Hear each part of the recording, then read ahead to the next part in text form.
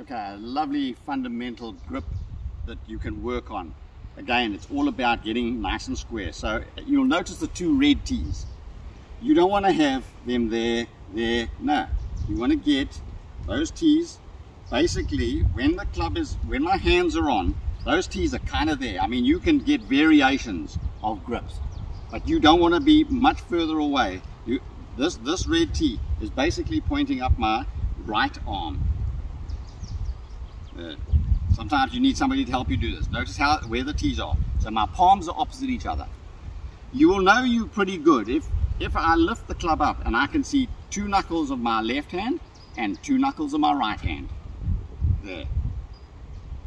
Your grip is unbelievably important in trying to get square. Square, club face, square on the ball. Okay. Very importantly, what happens with your grip, two little things. You grip, you hold the club with these, these three fingers of your left hand. They hold the club. The right hand, get it in the fingers, not in the hand. Get it in the fingers. And now you can hit with it. So, long story short, you're going to hold with the left hand and hit with the right. Hold with the left, I'm holding here. Never let go. And hit with the right. Here's my speed, here's my power. Make sure your grip, go to your local PGA Pro and check, how's my grip, how's my grip, how's my grip.